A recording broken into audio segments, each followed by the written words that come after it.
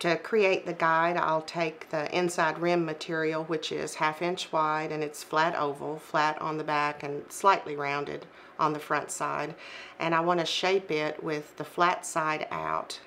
So the material's been soaked, oh, probably about 10 minutes. And I want to work out some of the stiffness just by going down to the end of the piece and coming back. If your piece of half inch flat oval is a little stiffer than this, you might have to soak it a bit more or maybe work it a bit more. But the goal is to get the stiffness out so that we can create a 12 inch diameter circle. And I like to measure this east and west, pull it on in, and measure it north and south too. So I think we're pretty close. And this piece was probably maybe about four feet long or a little bit shorter.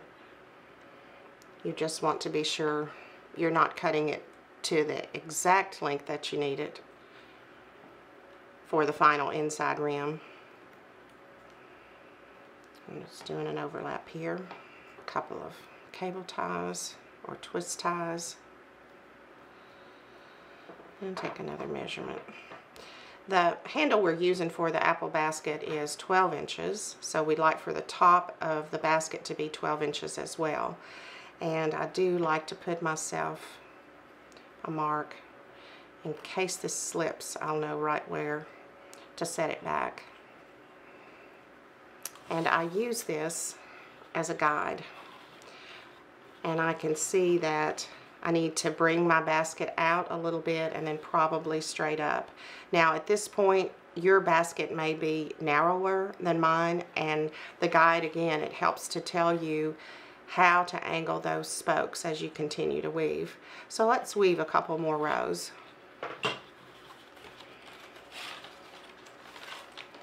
I'm paying careful attention to the space between spokes at this point.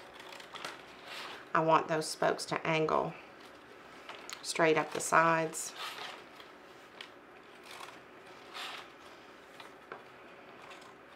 And I could tell by the guide that I need to bring the weaving out. I've woven another couple rounds and it's time to put a new weaver in and I'm going to be right across that split so I'll just cut the old end back. And now we are on the smooth side of the basket. I want to be sure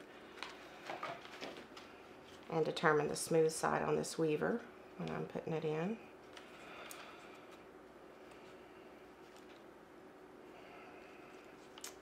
Overlap on one and two, pull the piece forward, get it to position, and overlap.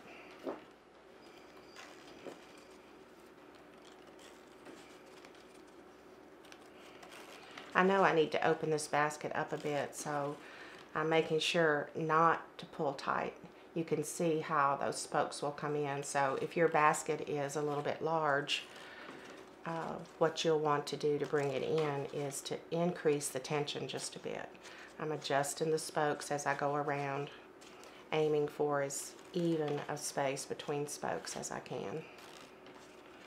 Pull outward on the spokes to keep that basket open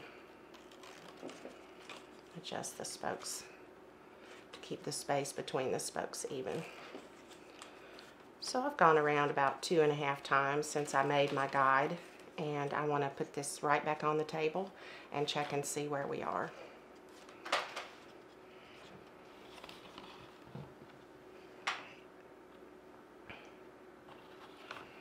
And place the guide inside. And I like to look right down at the center I can see that I need to still bring my basket out a little bit. Let's talk about the profile of the basket. Turn it around so you can see it. Uh, one thing I really like about this basket is this nice rounded curve on the bottom. And so again, your spokes may be coming up a little bit straighter depending on how um, the turn up of the basket was right here around the edge of the spokes. Or your basket may be a little bit broader and you may be needing to bring it in at this point. Just adjust the tension of the weavers and adjust the spokes as you go.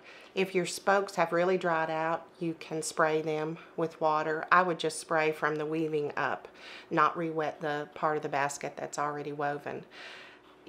I also like to use the guide to help hold the basket in shape. So if I was going to set the basket down and work on it at a different time, I would just put the guide under it like this look down into the center, make sure everything looks nice and even, and let it sit that way. That helps train those spokes where you want them to go. I'm going to continue weaving every three or four rows. I'm going to check with the guide on the inside of the basket until the basket gets to be about six and a half inches tall. And that will give us about two inches of um, spoke above the weaving to do our next step.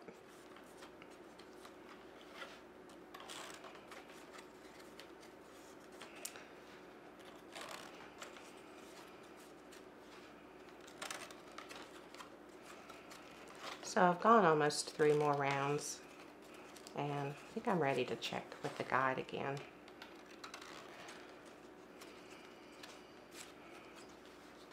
Maintaining that equal distance between spokes.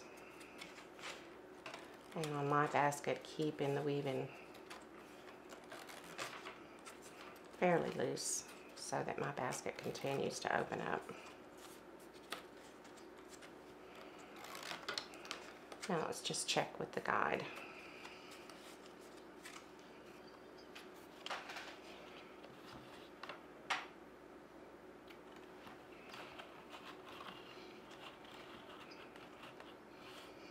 I'm going to continue weaving until I get near one of my shortest spokes and I want to have about two inches of space remaining on one of the shorter spokes. And then I'm ready to do the packing. The end of my weaver, I'm just going to leave it. I may add on to it later. I may cut it back, but for right now, I'm just going to leave it. Stick it over here.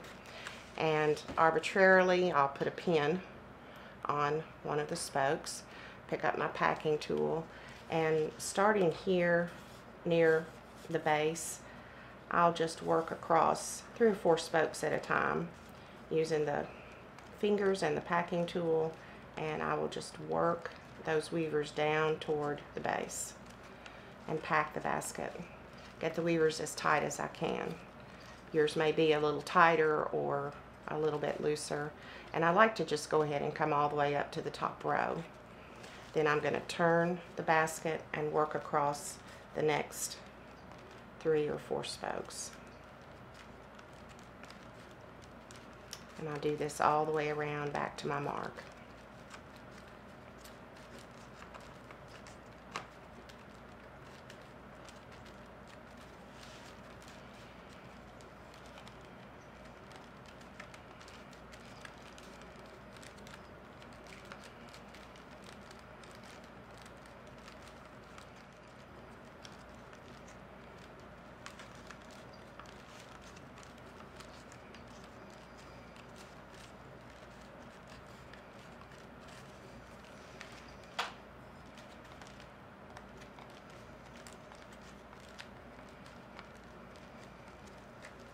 So this is my shortest spoke that I have two inches remaining and I just want to mark that for myself as I come back.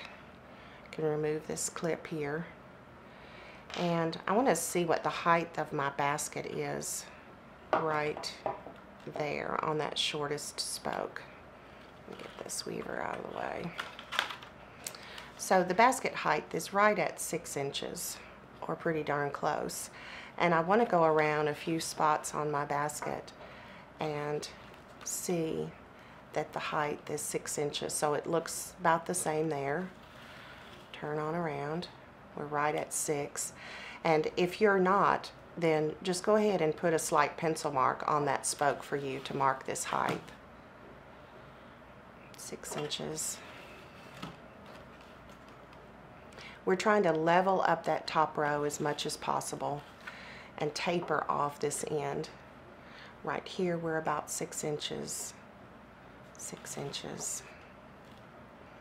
So as we're coming into it, just past the spoke that I marked, we'll need to taper the weaver down and leave it behind a couple of spokes right here.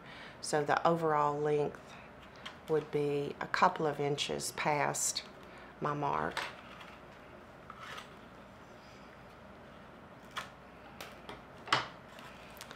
I'm going to unweave a few stitches. Spray this nice and wet and flexible.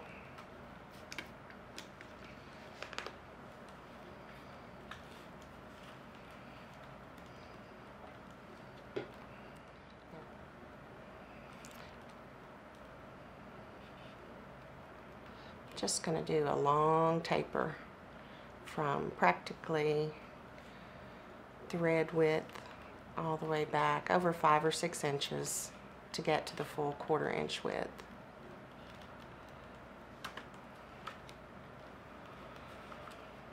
And I want that just as gradual as I can make it. Now I'll weave, weave this tapered end weave this tapered end back into it and leave the last couple of stitches behind spokes there. And I like to take my twist tie or cable tie and just mark this area where the taper remains behind the spokes. This mark will remind me when I'm lashing to run my lashing stitch under here and under there to secure the end of that taper. The top row that will be covered by the rim is uh, 3 eighths of an inch wide. And again, I'll just run the smooth side out. And I'm going to start this rim row where the taper ends by finding the last stitch that's on the outside of the spoke and putting my rim row behind that. And all the way around just plain weave. This material is 3 eighths of an inch wide, which is slightly narrower than the rim material, which is half inch wide. This one row is an independent row. It's going to finish off on itself.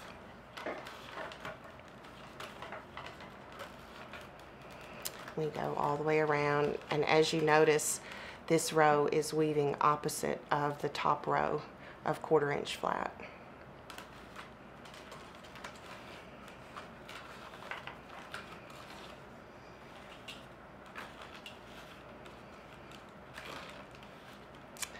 So I'm back around to the beginning and I'm simply going to do uh, an overlap, but I need to go on the outside of two adjacent spokes so that I can go behind and overlap this piece on itself. I'll trim it to right here, just to the edge of the spoke, and place this tail behind the spoke to do the overlap. The next step is soaking these spokes at the top so that we can do uh, the tuck over.